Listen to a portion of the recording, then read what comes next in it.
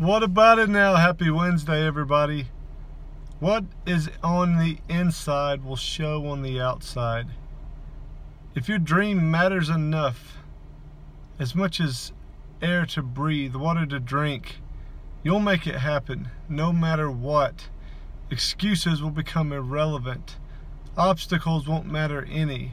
Setbacks, expanded timelines, none of these things will matter at all because inwardly you're unstoppable.